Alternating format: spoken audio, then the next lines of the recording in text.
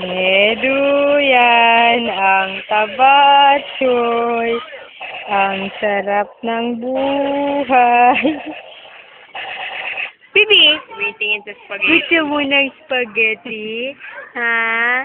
Gusto mo? ni Tito Mark, bibigyan daw siya eh. Sarap ng buhay ah.